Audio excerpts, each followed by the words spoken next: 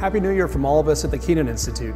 We have many exciting things to look forward this year as we dive into our new annual theme and convene in person, hopefully, with a great lineup of events and speakers. This year, we will be investigating stakeholder capitalism in ESG investing.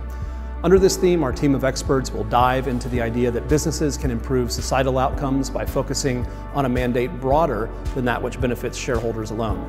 Our goal for this is to help business executives and policymakers think more critically about the issues at hand and make better evidence-based decisions, as well as build better understanding of the topic.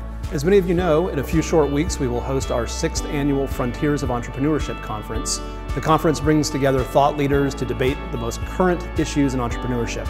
We're looking forward to having critical conversations with several academic and industry experts. We also have a great lineup of speakers, including Amazon Studios Chief Marketing Officer, Ukonwa Ojo, who will be joining as part of the Dean Speaker Series. These events are open to all and a great opportunity to connect with some incredible business leaders. We hope to see you there. And finally, make sure you check out the new article by our chief economist, Gerald Cohen, on important business trends to watch in 2022.